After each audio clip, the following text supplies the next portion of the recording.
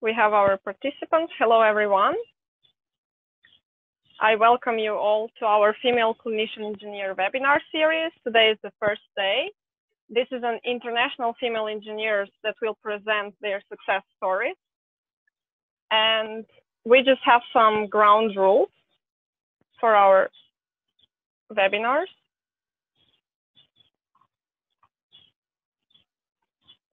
So just to warn you that these sessions will be recorded. Uh, we ask everyone not to turn on their cameras or microphones without uh, during the sessions themselves. And if you have any questions, you can always use the chat. We will be more than happy to answer all your questions. And of course, stay with us until the end to listen to our amazing speakers and for a nice group picture at the end. And most of all, just enjoy, learn, and have fun. So as for today, we have some amazing female engineers already with us. And my colleague Banu, she will present our first speaker. Uh, hi, hello everyone. Uh, I am Banu Köse uh, from Istanbul. And I'm honored to be a host with Liana in the Clinician Engineer Hub webinar series. Uh, and today we are together with inspiring guests um, of course, it is a result of Dr. Neil Sharma and Liana's perfect planning and hard work. Thank you. And I would like to introduce our first guest without much excitement to you, uh, Ying Wan Loh. Uh, she's, she will talk about aerospace engineering. Uh, Ying is a manufacturing team leader at Rolls-Royce, where she is working with a special group involved in improving aerospace products products in collaboration with the company suppliers. And in 2019, I think, uh, she won the Institution of Engineering and Technology Young Women Engineer of the Year Award.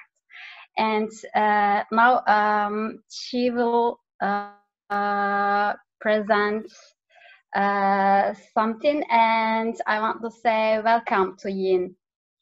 Thank you, thank you, Banu. Um, I am going to share my PowerPoint now right?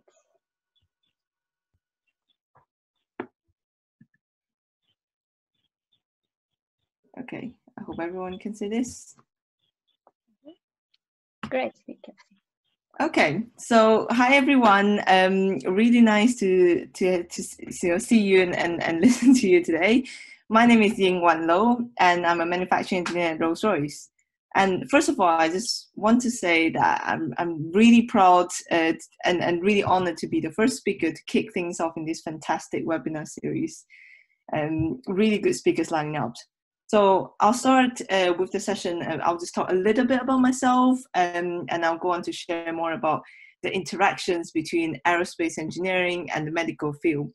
And I'll add some of my own reflections as well um, during the pandemic, you know, how did we respond? So I was born and I grew up in a tropical country uh, in Malaysia. So that's it's a sunny place uh, near the equator. And after my A levels, I decided to study mechanical design engineering in the University of Glasgow, and that's in Scotland. So I went from a very tropical country to a very cold country. And I did that for um, three years, and after that, I applied to do my master's in industrial systems manufacture and management at the University of Cambridge. In January 2015, so about five years ago, I joined the civil aerospace division in Rolls Royce as a manufacturing engineer. And last year, and yeah, like like um, introduced, I, I was really fortunate to have won the IET Young Woman Engineer of the Year. So so this is a picture of our one of our Rolls-Royce engine. So at Rolls-Royce, we call ourselves a power generation company. So that includes making jet engines, marine engines, and nuclear power generation. The example in this photo here is one of our Trent engines that power twin aisle aircraft. So big aircraft such as the Airbus XWB. The car company, uh, however, the Rolls-Royce car company sold to BMW decades ago. So it's, it's not actually part of Rolls Royce PLC anymore. So during my time in Rolls-Royce, um, I've worked across different factories and different teams, and I've gathered enough um, fun facts about the engines that I can share with you today. So I'll start with how does you know an aeroplane engine works. How does it work? It, it's it works by then sucking in air, a lot of air, um, very quickly, and and it and if I can see if you see my screen here. So this is a fan blade that sucks in the air, and then the air goes through this core where it is compressed very you know it, it, it compressed through the compressor uh, to become highly pressurized and pass through the combustion chamber so the combustion chamber is where the air and the fuels mix together and ignited to create an accelerated hot temperature air that comes out and hit the turbine so the turbine works a little bit like wind turbines where um, it, it rotates and then it drives this shaft and again continuously drives this fan, fan blade in the front. So it's a cycle of continuously drawing air in. As you can imagine, it's a very powerful machine. Imagine the size of an A380 carrying 800 people in the air uh, for takeoff and landing, all relying on engines like this. And so I've worked in different um, different factories that make different parts of these engines, and um, one of them is the single crystal turbine blade factory. So that's the one on the top right. So these turbine blades can withstand very challenging conditions during operation. For instance, when it's flying, the engine runs at a temperature above the blade's melting point. And these blades are also rotating at 12,000 revolutions per minute. So it's like maintaining an ice cube cold in an oven while it's it's spinning at 12,000 RPM. And in terms of how does that work, so we we actually, if you see the little holes on the turbine blades, uh, we actually create some micron level holes in the blade and pass cold air through it, and that you know create a thin film of relative relative cold air, which is at about 400 degrees Celsius, to protect it against the thousands of degrees Celsius it is exposed to. Also, to maintain the strength of the blade, the material is grooved from a single crystal, so you won't find any grain boundaries in this part. And I've also worked in a factory that make combustion chambers, so that's the one at the bottom right corner. This is the part that mixes compressed air with fuel and burns at the temperature, a third of the surface of the sun. So it's thousands of degrees Celsius. And people don't really realize that when you're in a plane, right? Like when you take a plane to fly internationally, you don't actually realize that that's what the engine do and this generates a, you know, a high level of power and propulsion to lift aircraft like the A380. And again, special materials, special cooling techniques, and a lot of advanced design. So these are really cool products, and I worked uh, worked on it for five years, and still a lot to learn. And at the moment, you're probably aware the industry is going through some pretty challenging phase, but always at the forefront of technology. In the future, I think it's going to be more focused on hybrid electric aircrafts, with the attention on sustainability and the impact on climate change. So on hybrid electric propulsion, which I've also worked on the project briefly, is a completely different architecture and technology. But I guess that's a story for another day. Now I'm going to share um, what I personally find uh, interesting. So some of the underlying principles and similarities between, uh, that applies in Formula One uh, racing, surgery, and also building a jet engine. And that, as you can see in these pictures, the coming th- together of resource to a target subject, a highly planned operation, highly skilled and trained people, and often a race against time. So these processes stretch the limits and aim to be the most efficient possible. As a manufacturing engineer, my job is to look for efficiency savings in production processes, whether in our own plants or in our suppliers. So I look for best practices everywhere, including inside and outside the industry. So when I look at Formula One uh, racing, the fastest pit stopped is 1.8 seconds. And that means the team managed to change the tires, refuel, make mechanical adjustments, all that within 1.8 seconds.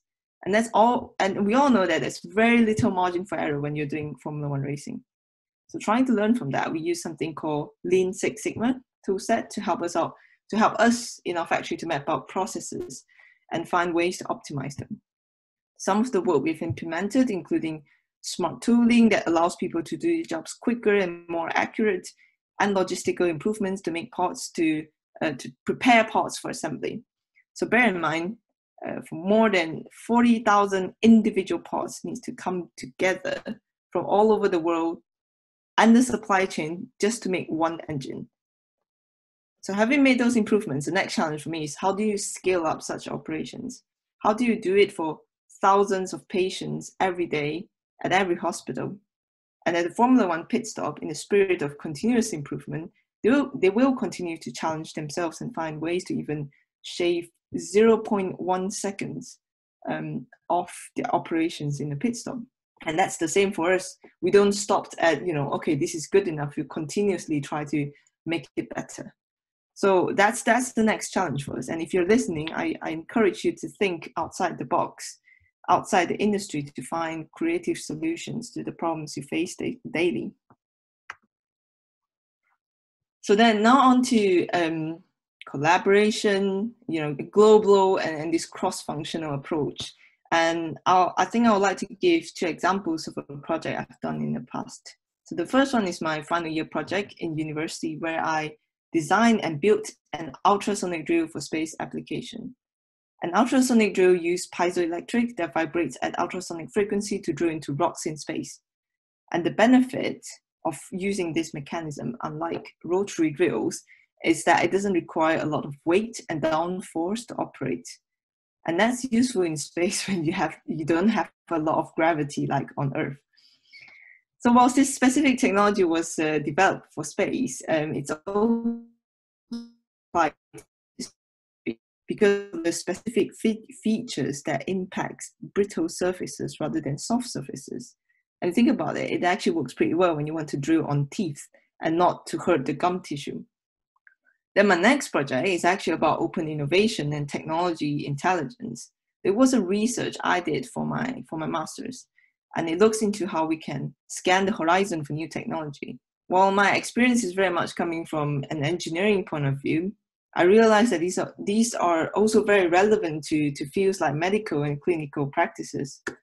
So what I personally learned through these two projects is that innovation is, is not a closed box. It flows between applications. Something that is invented for space can be used in dentistry and vice versa. So when we face with global challenges like we have today, we have to use a cross-functional approach. So it's not just in technology, but also sharing best practices. And in terms of you know trends and what's coming in the future, as a manufacturing engineer, I see Internet of Things, Industrial 4.0, where sensors in the factories will play significant role in what we call the fourth industrial revolution. And I see the parallels of that with healthcare sector on this, so it's like digitization of your patient medical records, sensors and data in, in hospital operations, for example. And also imagine that, you know, for us, we have RFID tags on engine tooling inside our factory so we can track the location of these tooling wherever we go. And similarly, that could be applied on hospital beds. And one of the, the a friend of mine who worked in the tech company uh, she's currently developing a state-of-the-art like breast pumps for women using intricate sensors and even lasers. So I think to stay ahead of the game, we need to see the bigger trends of technology and, and ride the wave. So finally, I just want to mention, you know, a little bit about the manufacturing business and the communities responding to COVID and some of the reflections I've made. So first, I think you know when it when it started, we see a lot of issues matching supply and demand, from ventilators to toilet rolls. You know, demand increased significantly for manufacturers. Then we start to see companies working flexibly to repurpose their factories to make PPE or medical equipment within days or weeks when it usually would have taken years. And then you also see small 3D printing communities supplying key workers with PPE when there was a shortage. And all this was happening at a global scale. I know people are doing it, you know, everywhere around the world. So in this pandemic, I mean, we hear a lot of like how five years of innovation is happening within weeks. And often technology step change and disruptive innovation happen during major crises. And if, if I think, look back at the history, the development of aeroplanes, accelerated significantly during the world wars and and most of our current big tech companies were founded in the financial crisis. So for COVID, I think, I mean, a lot of what we see is, is really, really tragic, and, and many people are, are personally affected. But if I may point to some silver lining, I think we've seen collaboration like we've never seen before and we're able to do you know international webinars like this where we connect people from all over the world um, and and people are also innovating at speed and hopefully that will bring about another revolution of technology that will keep us safe and transform transform our lives so in this spirit i'd like to finish my presentation and i hope you enjoy seeing the parallels between aerospace manufacturing and healthcare and hopefully inspire some, some great ideas among our listeners. That was great, Ying. Um, uh, at the same time, we can we are looking for the questions uh, from the participants. Mm-hmm. If you have questions, you can use the chat box. And I want to Thank you, Yang. And I want to ask you something. Uh, I know that you were uh, planning to be a pilot or an architect or an artist when you were a child, and you could combine everything in one job.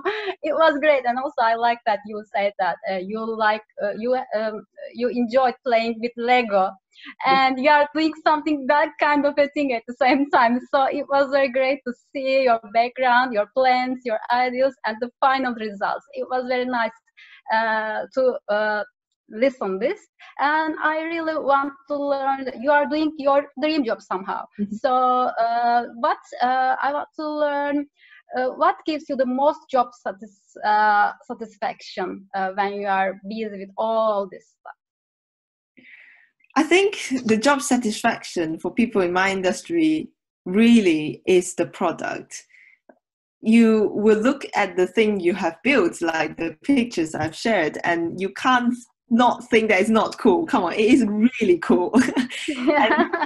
it's I think that's the ultimate job satisfaction for a lot of people in my industry. It, like the product is cool and it's it's always pushing the limits of what's possible, you know, with technology and that gives me as an engineer that gives me, you know, a lot of satisfaction.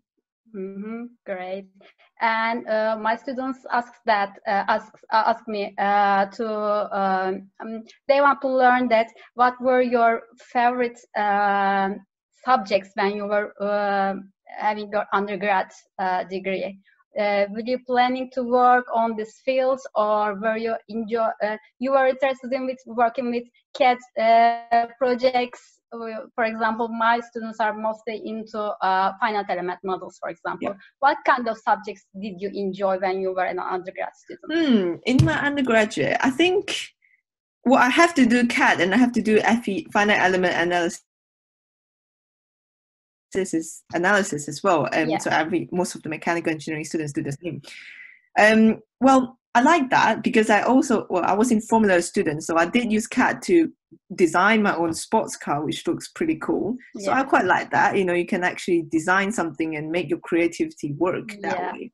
What I also like is actually materials because it was a time when we had um, a lot of a lot of breakthroughs in materials, and I feel that you know with with materials we can actually make a lot of things possible Mm-hmm, so, mm-hmm. for example, we all know that currently battery technology is very important for, uh, you know, electric cars and electric planes, yeah. and yeah. we're we're almost waiting for a new material to break through in that area, and then a lot of things will suddenly become possible. Yeah, so that's another of my favorite subjects. Yeah, I see. It's related for with many things. There are many parameters, so there are lots of uh, points to enjoy in your field. Yeah. That's why I like I enjoyed listening to this and uh, I know that you had um, you have uh, worked on STEM issues also. Uh, so you to encourage uh, female engineers, uh, female students, young girls. Do you want to say something on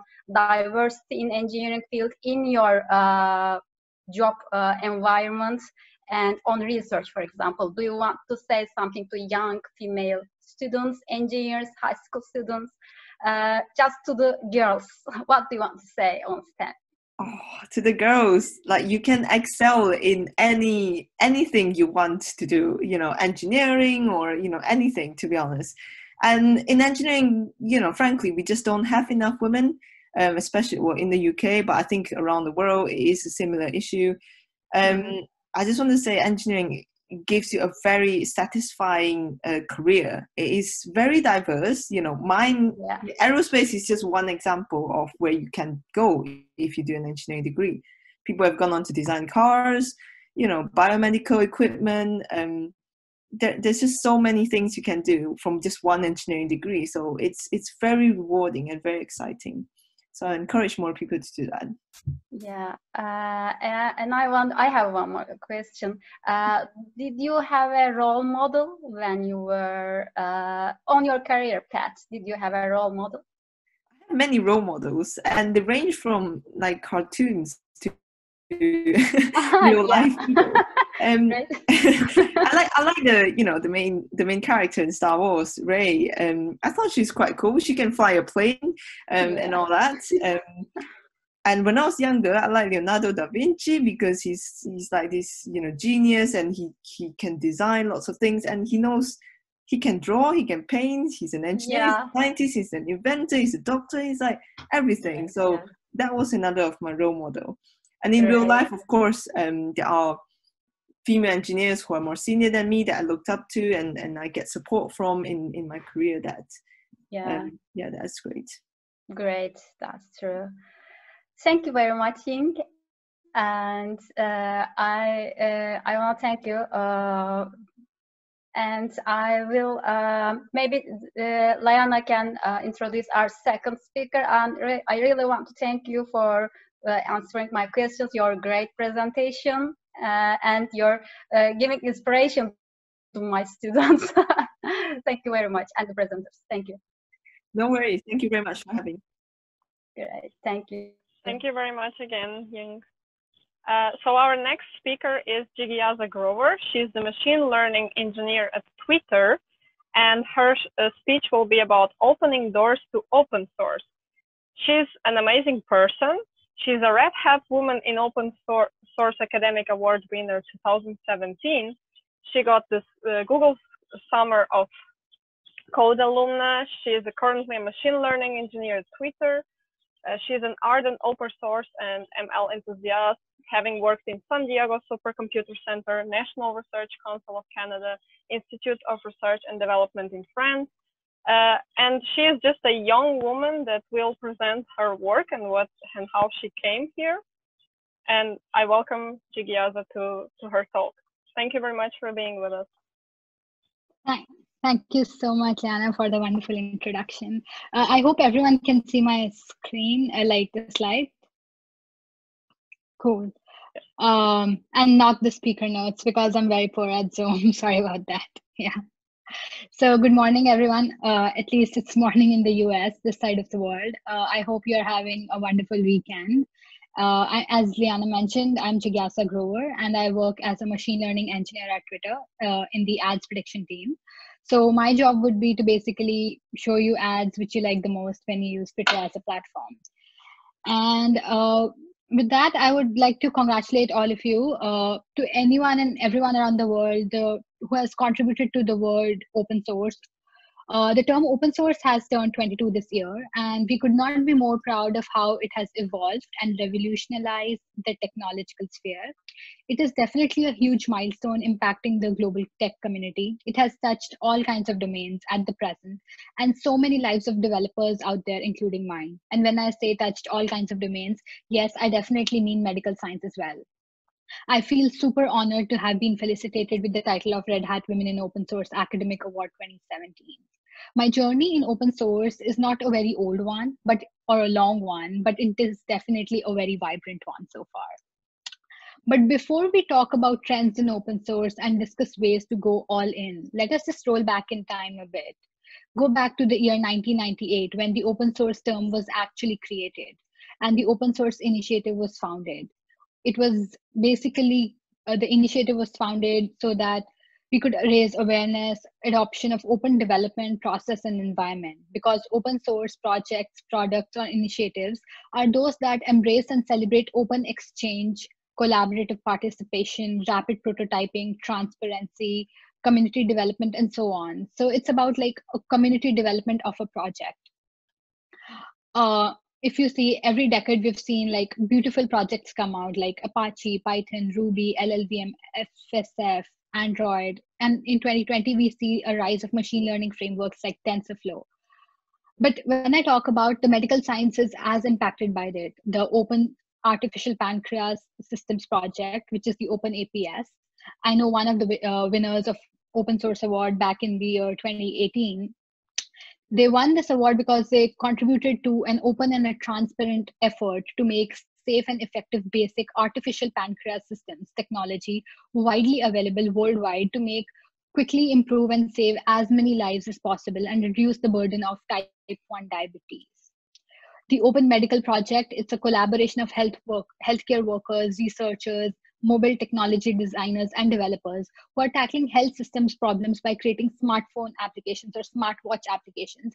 And this is something that I advocate that by using technology and open source technology in particular, you could help in increasing uh, the awareness about medical sciences and avoid, you know, basically improve the healthcare system around the world. So social coding, which open source is all about, has strikingly come across as the latest fashion for it opens up a parallel world of technology, keeps the creative juices flowing, and furnishes a sense of belongingness to a community when you develop with the community.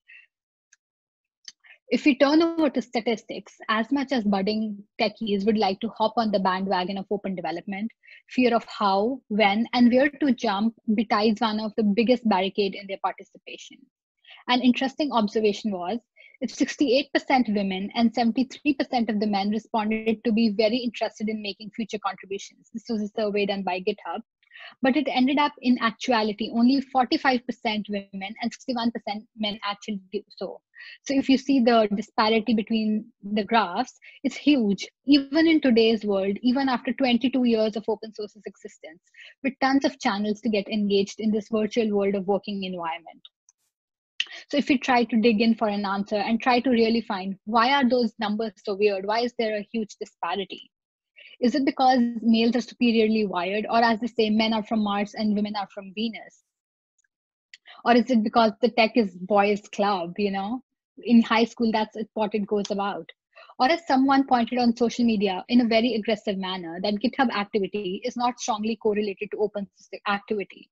For people who are doing open source or in technology, like in computer science, would know what GitHub means. But in my opinion, it still reflects a lot. But if we do a reality check, the reality check is female or non binary programmers are leaving the tech sphere or they simply just never end up joining it. One of the reasons could be they find fewer role models to look up for inspiration, or because they never achieve a similar level of encouragement or visibility as their counterparts the shyness or missing confidence to ask questions publicly or contribute is the biggest factor as well. And one more thing are we really going with what the movies tell us that a hacker is equal to thick glasses and heavy beards? Is he someone who really sits in dark, dingy basements and works on his tools? Never in a movie they would show that pretty little girls wearing makeup and skirts can also tinker with tools and hack into anyone's system possible because all you need is a laptop and an internet connection. I did a quick Google search of hackers' images, and the first images that popped out were this like just guys, a group of guys, basements, dark places. Why? I just don't understand why people have to hack in the dark always. And recently, I was reading a book uh, by Reshma Saujani, Brave Not Perfect. It says that too many of us feel crushed under the weight of our own expectations. We run ourselves ragged, trying to please everyone all the time. We lose sleep ruminating about whether we might have offended someone. And trust me, this is me many days. We pass up opportunities that take us out of our comfort zones, be it different time zones, be it talking to people you've never met online, just like this, and avoid rejection at all costs. In the book inspired by her famous TED Talk, New York Times best-selling author Reshma Saujani empowers women to embrace imperfection and bravery. It's okay to be imperfect, but it's not okay to be not brave it's okay to fail. It's better to learn from your mistakes. Only very, very few people get it correct in their first attempt. So this is the social conditioning of always being perfect and always going that extra mile to be above expectations is not what basically holds us back. So today we should all celebrate. We should all be brave and we should all faucet up free and open source software with everyone, not with men, women, binary, non binary. We should just include everyone in this. And with that, to ease out the modus operandi of how we should be taking long strides in this alluring world, let us briskly glance over the different tracks we could take our baby steps in to get engaged for a fun and learning experience.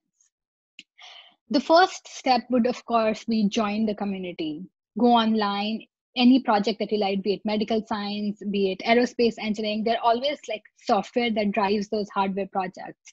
I guess Ying would also like to agree with me that software forms a big part. So if you want to contribute from the you know comfort zone of your home open source is one of the biggest thing that you can contribute to and still learn a lot. Mailing lists slack channels internet relay chats just try observing others. And when you think that you have found the perfect project coding of course is the classic hit. It's a tried and a tested formula. Fish around for a community that stirs up your spirit of curiosity. Find a project that is of your interest using tools and technologies you aspire to polish. And then you can find those bugs, swat those bugs. But one thing, salient thing that I try to emphasize is that open source is an environment, it's a way of actuality. It's not all about programming. To help overcoming the feel of intimidation, I also try to encourage people to take their baby steps via so many other channels possible. Because coding is something not everyone can know of course if they want to but not everyone is super interested or not everyone is passionate about. So why just restrict open source to people who are just interested about coding? So the first uh, one is for all the people the newly committed ones denizens the open source project if you have a difficulty while setting up an open source project or you have a difficulty while using an app or using a specific feature there's so many developers out there or compatibility issues you have to report the bug. Like reporting a bug is in itself a way of contributing to open source because you're telling someone this is wrong. But hang in there. After you um, after you report the bug you don't have to vanish. You can help the developers who might have like pushed a bug patch or a new patch to fix that feature. You can always test it because feedback is always highly appreciated in the sphere of peer reviewed development. There's not someone, a single person who's driving the project. As I said, it's community driven. So you have to help each other out. Even if you think you cannot solve that bug, you can always help provide feedback. And then there's read and write documentation. This way can never go wrong because documentation forms a pivotal part in bringing everyone aboard, to everyone keep updated what's going on you have to proofread existing documentations, check for technical errors. More than pointing mistakes, try and correcting them. Lend a helping hand in setting up new formats for logging progress, latest features of the project, jot installation and you know usage instructions, build tutorials, write tutorials, and learn along the way. So documentation is something that every kind of technology needs, be it aerospace engineering, computer science, medical science. You need to write down so that people who are new can read and know what's happening. And then the creative streak. You can all, if you think you have, you know, the designer's hat, you can always help refine the look and feel of a project. You can build a portfolio, you know, you think you can have like good design skills, can help build new icons, interesting themes, layouts, color schemes, you know, help the visually disabled, contribute in a better user interface. So basically, these are all the things that you can help contribute to an open source project or any project in general. Also, if you think you, I guess most of the people around the world these days, you know, so many globalization happening, people know at least one or two languages, especially for people who are immigrants who move to a different country for work, study. They always know more than one language, one from their home country and one where they're living in. So if you think you're adapting different languages, you can build a larger community and engage people by translating your favorite project into your own language. It's known that so many projects don't get the traction they could just because they're restricted to English only, or maybe just Arabic only, or Chinese or Mandarin only. So, with variety of open source projects yet to reach people with no proficiency in the default language, you can localize them and get involved with the customization even big companies like google pay you to help run the translate project to help you know translate words from one language to the other so that they can bring everyone on board and last not the least so thank you to all who have been putting effort best efforts to make this world a better place admire a project an open source project support it financially, donate it to ensure that its continuation and an expression of gratitude. Donate in cash or in kind. You can purchase tickets to their trainings, to their workshops, buy subscriptions. These not only fund the projects, but also dispense a huge amount of personalized content. You can assist by paying off external costs, help in setting up, hosting shared developer spaces, motivate others to contribute to open source, and get motivated in return. And George Eliot, one of my favorite English novelists, poet, and of those times, of the Victorian era, basically said, It's never too late to be who you might have been. From humble beginnings come great things. So basically, you can start off by any project like Internet of Things, uh, machine learning, web engineering, medical projects, Bitcoin, and data sciences, data analytics. There's so many things, Android app development, iOS app development that you can start. And to all the role models, to people who are finding role models, go on social media, you'll find so many people. These are the people that I used to follow on Twitter, and they would write, you know, good content, or like there's so many people I don't even know the names of but they left a glittery dent in my life. I could never thank my mentors enough, both known and unknown that I've had. They would write blogs or tweeted useful stuff that I would link, or maybe just like links to scholarships that I ended up winning. And I didn't even know who posted that on Twitter. So we should all try to be a role model to someone in our life. And I would sincerely ask everyone to just help others.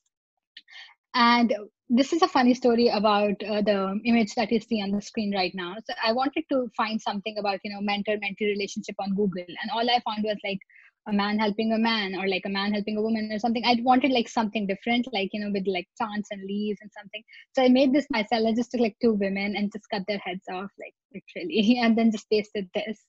So I think uh, this is a good way of like being a mentor or being a mentee. If you think there are different projects, uh, different communities, you can find local ones like Girls Who Code, Women in Machine Learning, Anita Borg Institute. Then there's one for me at work, Twitter Women. They support you, and it's not like you always have to participate. You can be a silent observer too till you feel comfortable enough. It's okay to belong to a community. And these are the projects I would like to draw your attention if people are specifically interested in open source projects or hosting an open source project for your domain. Some of them, which I have been a part of as a student, as a mentor, as a coach, and lastly as an organizer. They start by including an underrepresented group, but go on to build a community, a home-like feeling to many, and including me. So they could be like Summer of Code in space, and there's Google Summer of Code. There's a Winter of Security for people interested in like web security and outreachy. And sadly, the Rails Girl Summer of Code just ended this summer, but still, I would I wanted to highlight this. And lastly, I would like to say look up at the stars, try to make sense of what you see, and wonder what about makes what makes the universe exist. Be curious. And this sense of curiosity will always take you places if you're always curious about, you know, just why this happens instead of like accepting the like, just whatever is happening around you. And Stephen Hawking, he's one of my favorite persons and one of the role models. And he said this, I'm so happy and with that, I would like to say, let us all aspire to inspire people all around us and let us engage budding hackers. Thanks a lot.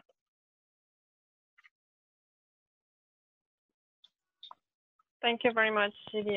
That was actually a very inspiring talk and a great talk for me, even though I'm not a coder and anything, but it's, it's great. So we have a lot of comments and a lot of uh, questions for you.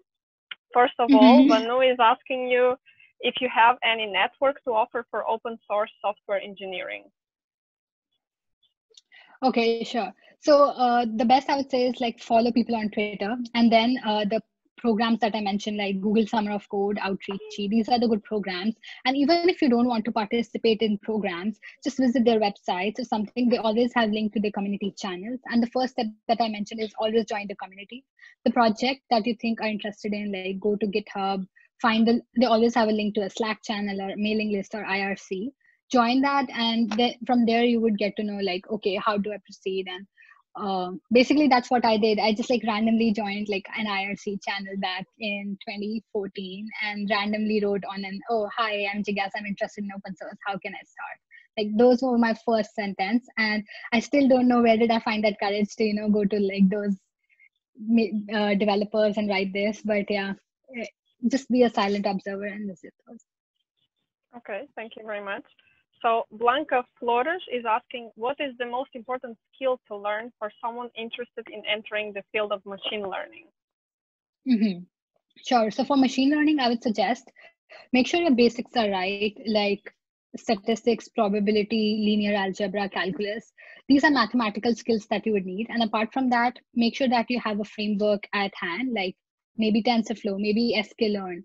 Just take those and uh, clear up your fundamentals i would say. You don't have to know very high fi because whenever you join a company or like a startup every each one would have their different frameworks. So just brushing up your uh, statistics and basic machine learning algorithms be it supervised or unsupervised and knowing two examples of each and how to implement in a coding environment like tensorflow or sklearn that should be enough to get you started. Okay thank you. Uh, so our first speaker yingwan lo asks uh, she's trying she's tried very hard to break the stereotypes of engineer and coder while there is some progress what advice do you have in this area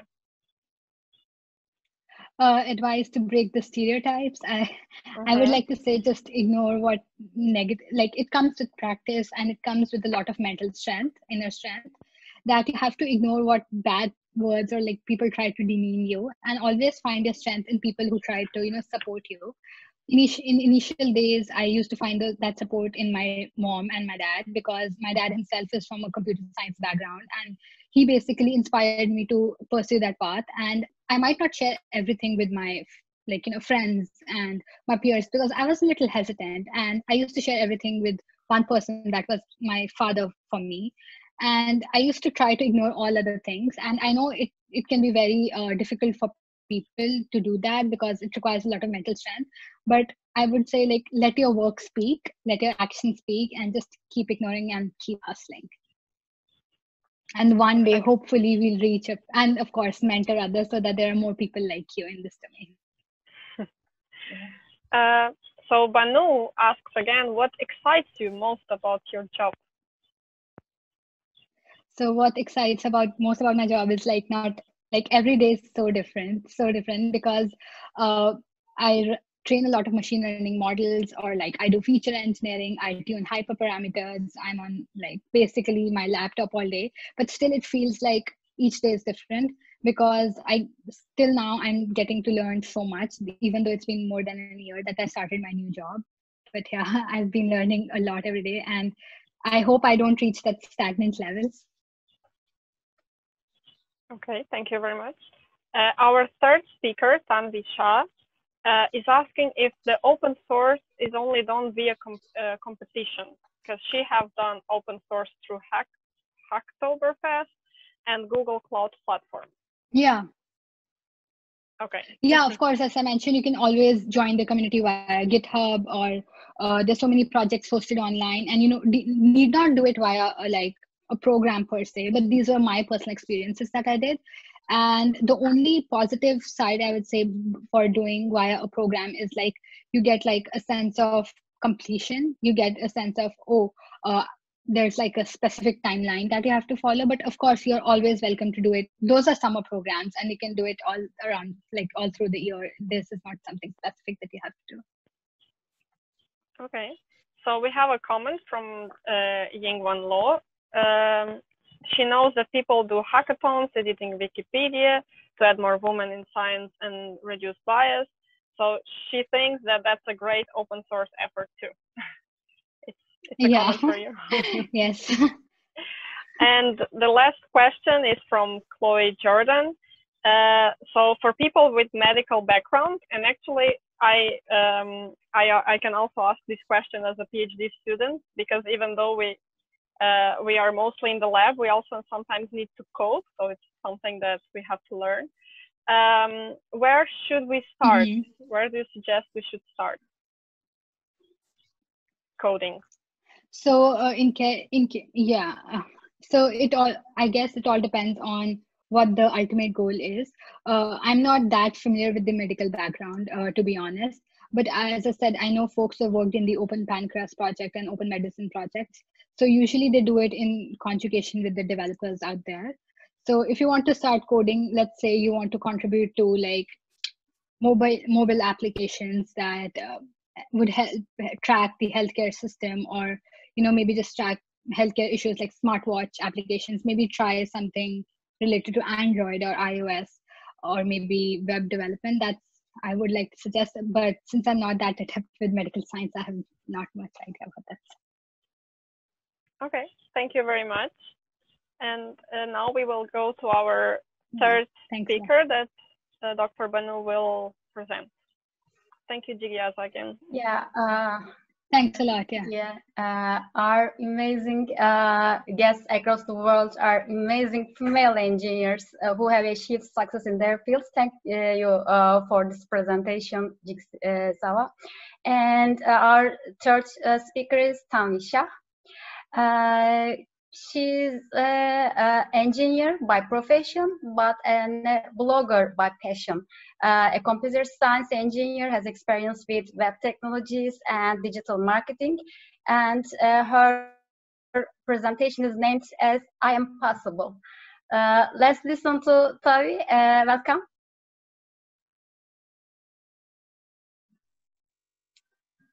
Tanvi, can you hear me? Ah, yeah. Hi. Hey, everyone. Hi. Yeah.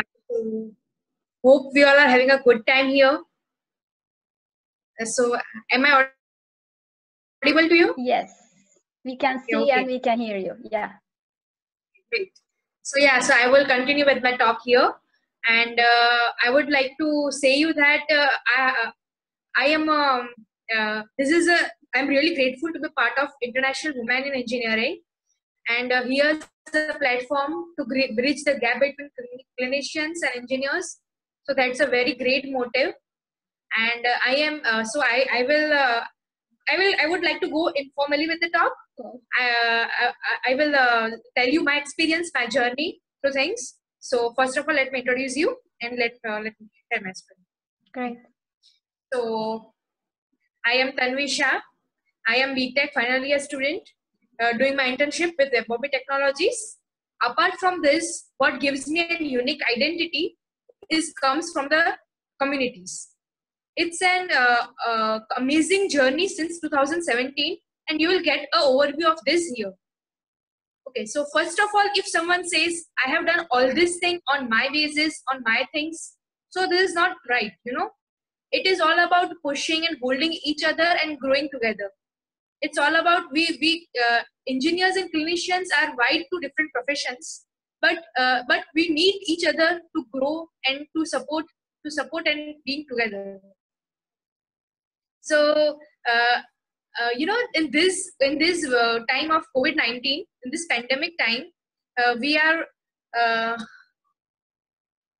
okay. We are having the lo- lots of things in the advancement of medical medical times.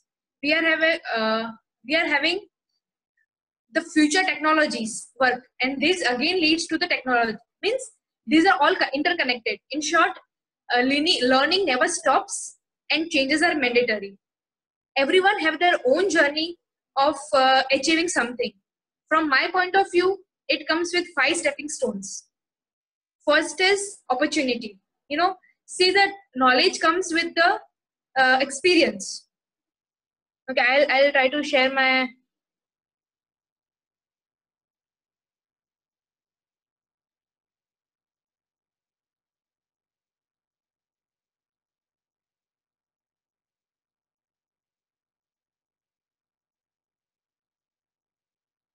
okay I'll, I'll try to share my things here. Oppor- till the last time we don't have it we have to try almost all the opportunities at the beginning you don't know the things you know? You are like uh, you don't know the things. You just try. You have to just uh, put it into into it and challenge yourself. Uh, from my point of view i will share you two things. There is gdg baroda and wtm baroda. Gdg is google developers group. Wtm is women techmakers. So i have joined this group since 2017 and we all are having these things uh, right from uh, back.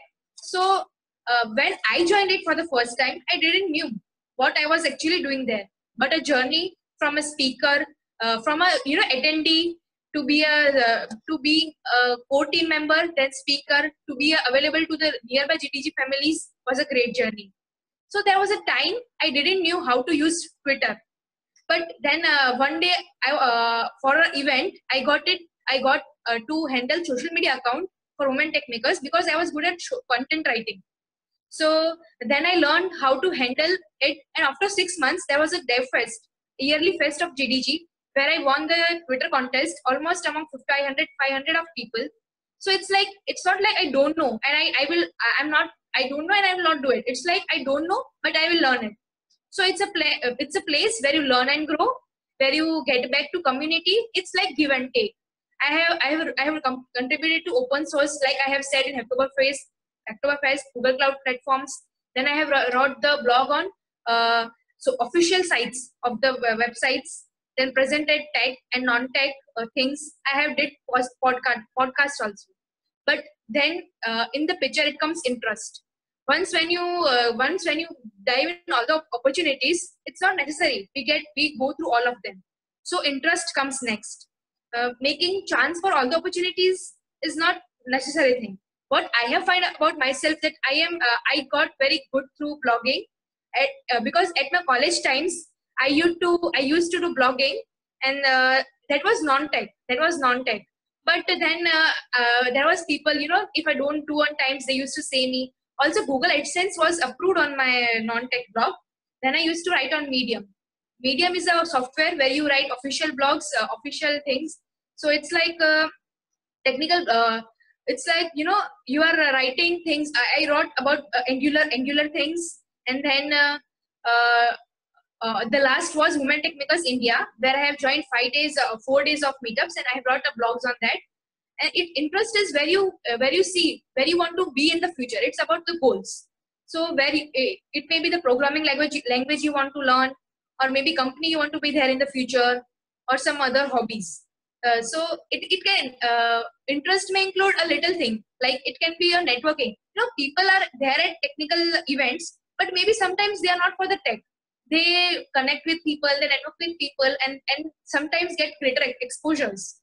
So it's like uh, you get there you know there you you uh, you know your you improve your communication skills and get to know better people and learn more.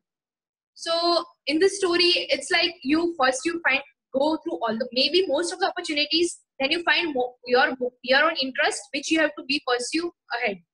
After that in, once you find your interest dedication is must. You know if you if you just find your interest and you don't have a dedication to, of, towards a thing how can you uh, consider through it? Because sometimes uh, we have to continue and continue doing all the things but and someday it will be summed up to be back to us in a magical way.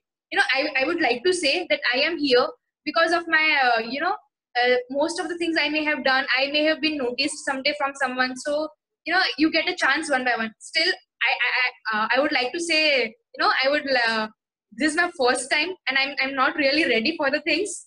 So i may i may just uh, mess it up but i'm really sorry and i thank you to give this opportunity. This is my first first talk so i will always remember this thing that i have learned from here i have i have done the mess there then i have learned things and i'm, I'm doing good for the future.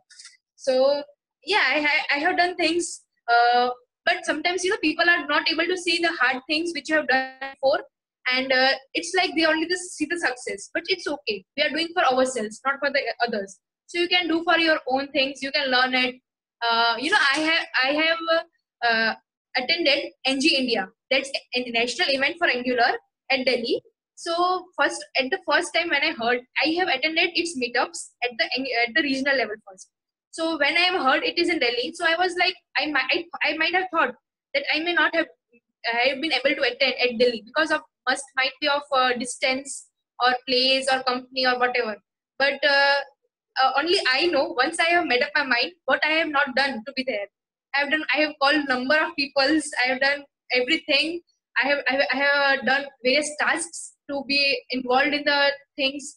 So it was a it was a great thing. At least at last i have attended them so it's like uh, you know if once you have failed giving all your dedication it's like uh, at the end you won't regret that you know you might not have tried. You might not even even tried.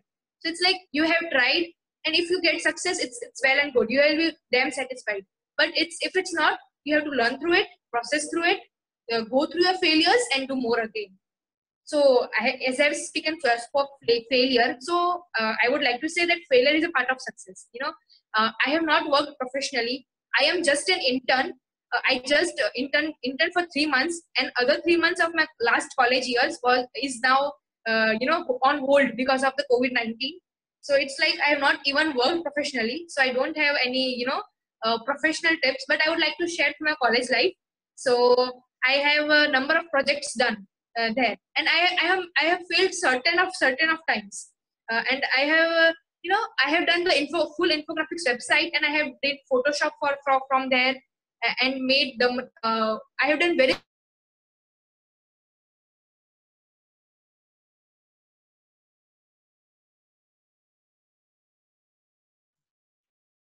I think we have a connection problem now. Hope she will be back soon. Now we are waiting for her. Yes, we have a connection problem with Tanvi. Yeah, hope she will be back here. Yes, uh, sometimes it happens. It's part of the Zoom calls. Yeah, this happens. Nobody should worry. We By will just way, wait for her.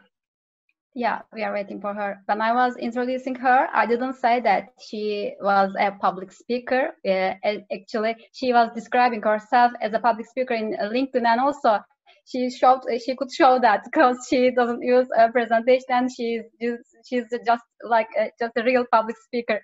Actually, I actually could um, smell her dedication from miles away when she was telling about her story. So it was very nice and inspiring as that because she's still an, a student uh, at the same time as an intern. So this is very inspiring for uh, young girls, I think, because before the graduation, you can do lots of things. Just and actually from different fields, you can do lots of things. Just being a blogger, being a public speaker, working on your field, preparing yourself to your future plans, or some new, uh, you know, uh, new innovative uh, projects. So this is a very nice uh, sample for young, young girls, I think. Hope she will be uh, uh, uh, us. She will be with us soon. Yes, I think Tanvi is with us. Is back with us. Can you hear us, Tanvi? Can you talk? yeah i can can Right. Perfect.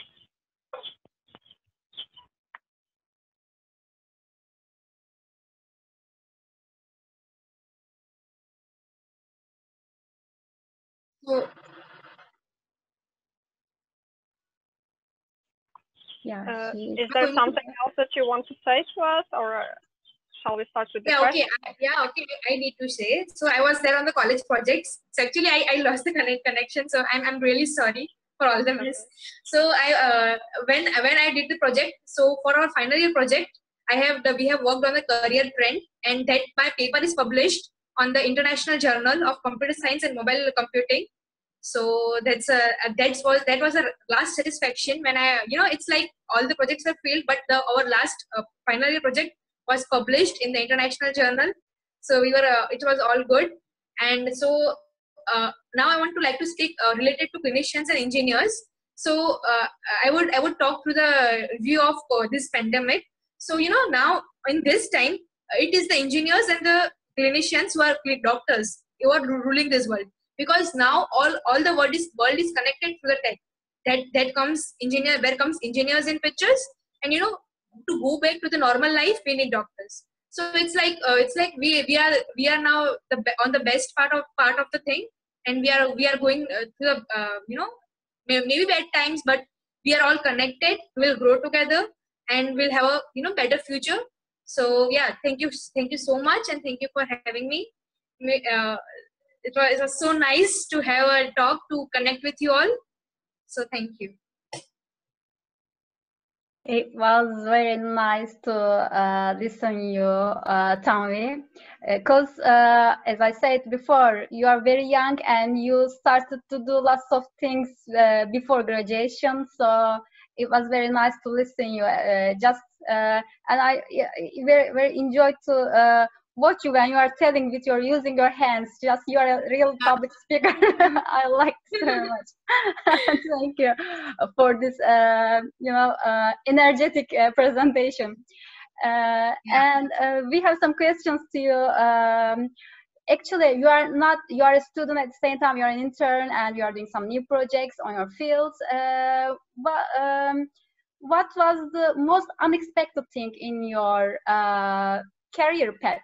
This uh, short but very uh, full career path. What was the things un un most unexpected thing?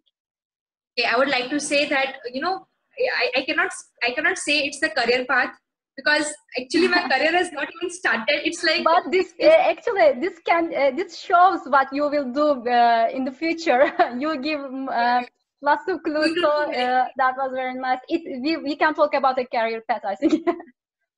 I'm going to. I, I, I surely I'm going to do a lot of lot of good things, lot of talks, and I will remember this talk as my you know first thing.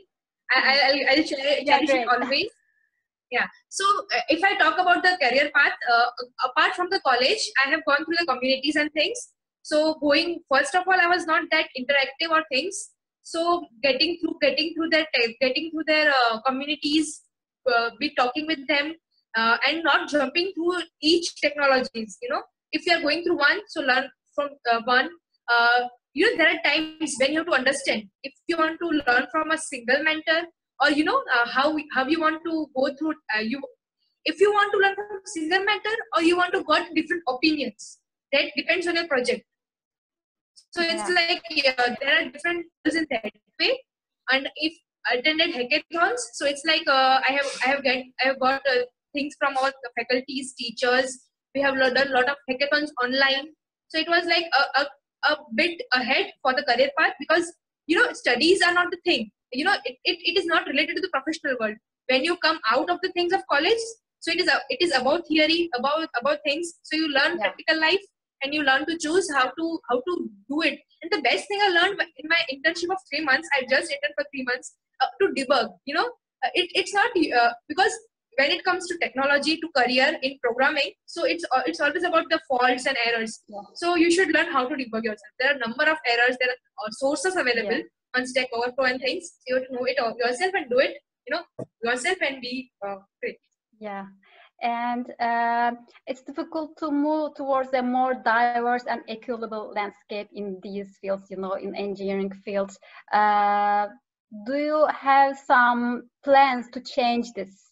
Do you want uh, do you have uh, all we are fighting to something uh, sometimes uh, when we are trying to uh, create our own career paths in this uh, to find a more diverse and equitable landscape. So, do you have some um, plans, ideas about changing this?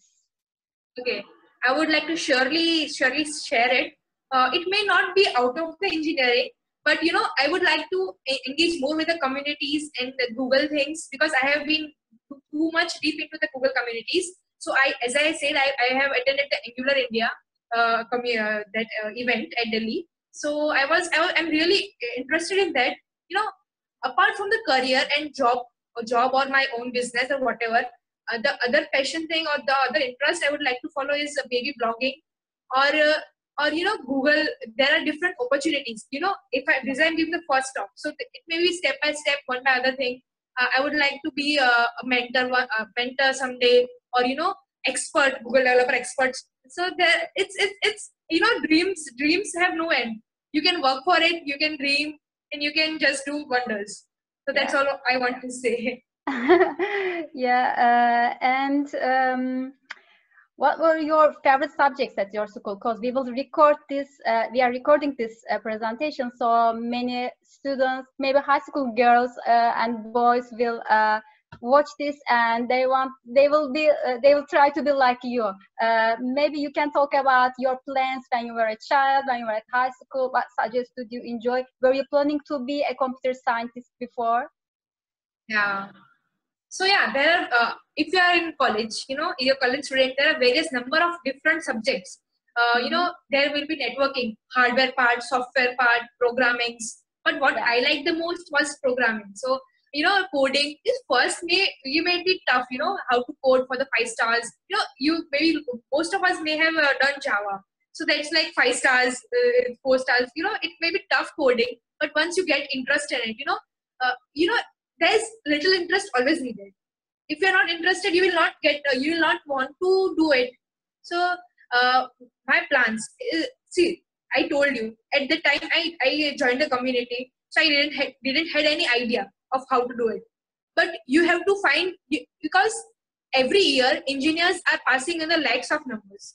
So you should have your different identity identity other than only the degree it may be yeah. community it may be some other thing. It may be you're, you're doing projects on your own.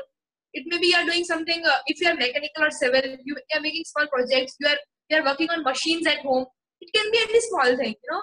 Uh, it's not like uh, because I, as i said engineers are passing numbers. So you should have something unique in your own that you can share you know at the time of interviews. I have i have passed correct number of interviews number of uh, online tests. So you know it's it's quite uh, online tests are a bit cranky for me, but interviews are, are like just always. I, I knew I can I can crack all the interviews because of my maybe speaking skill or uh, communication. You know, I was I'm quite confident with these things. So it's like uh, be confident and believe in yourself. Learn things.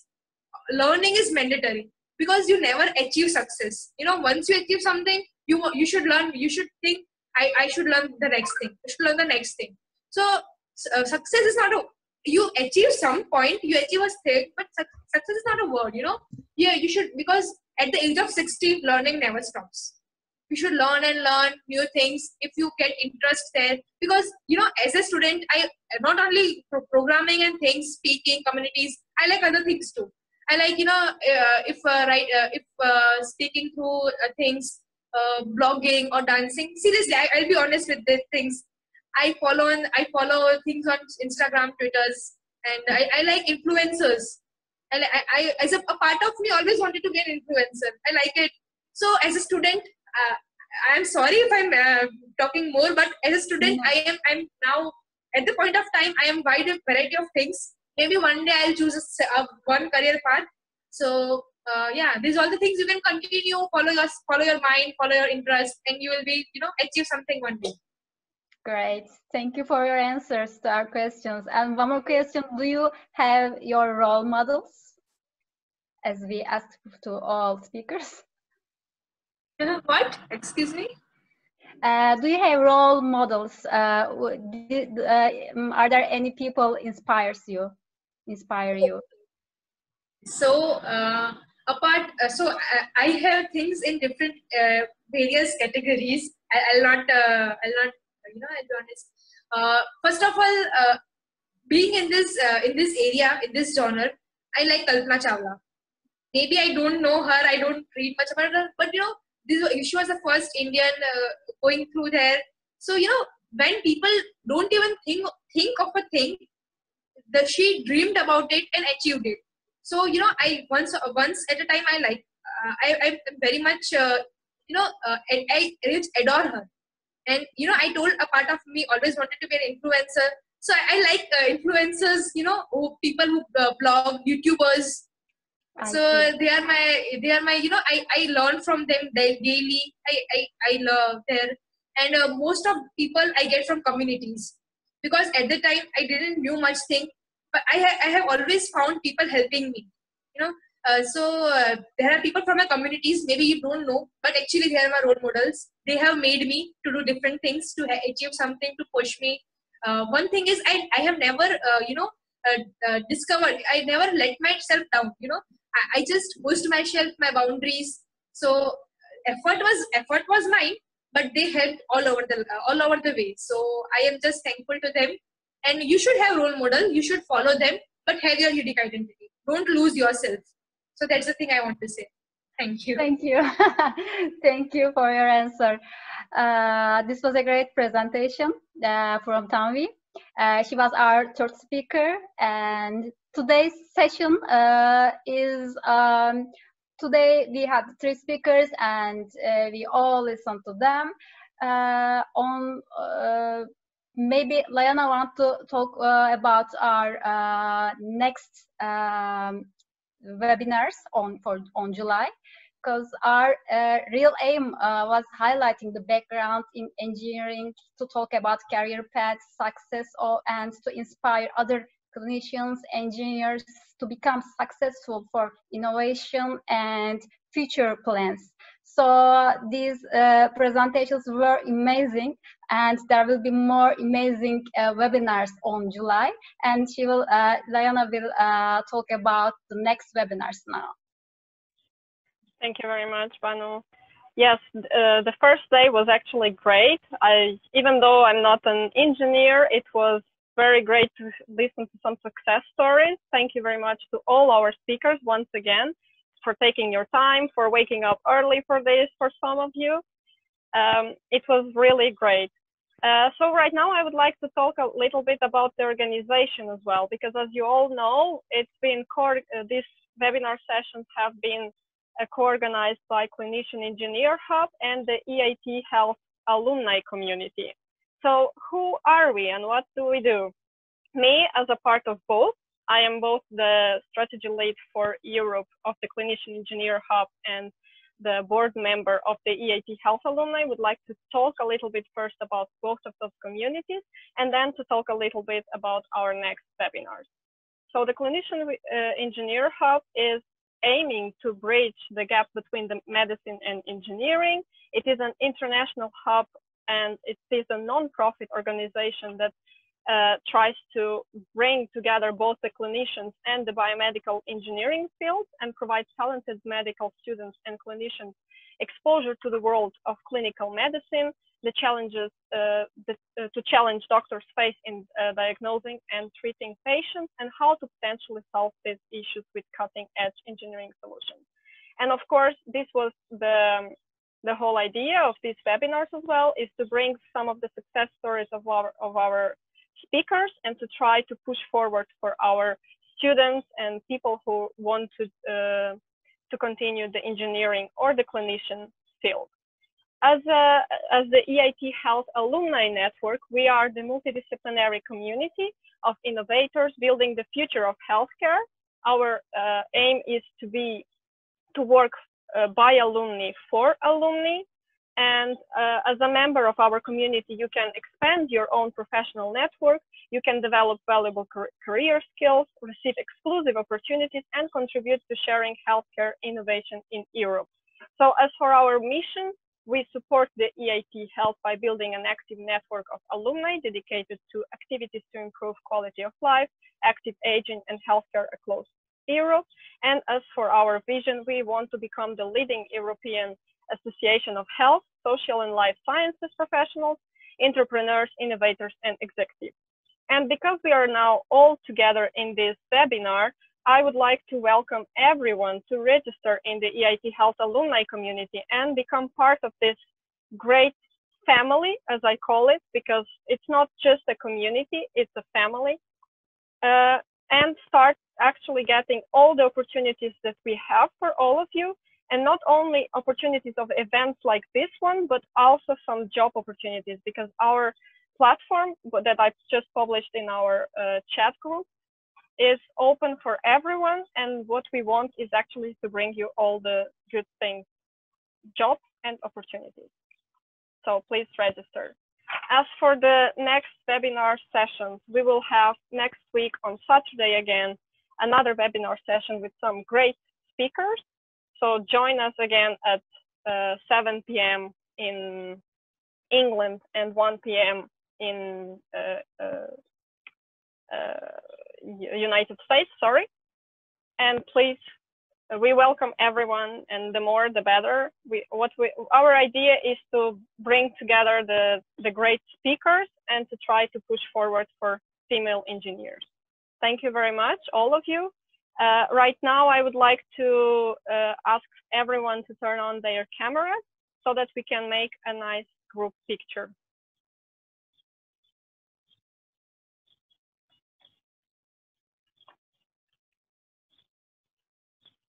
And once again, thank you all, all, the participants as well, for all the great questions, for taking your time. I know it's a Saturday, it's 4th of July, but it's great to have you all here. so much. Okay, we still um, have some people. Thank Tanvi, you so much for organizing this. Thank you very much. okay, Faisal is with us. we don't have Tanvi that presented. Oh, okay, everything is fine. Some people don't have their cameras, okay. So let's take a picture then. Yeah. Smile.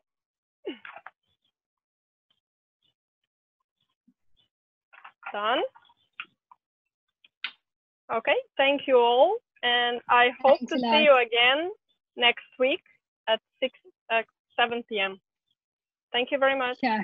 Thanks, guys. Yeah. Have a great day, everyone. Thank you.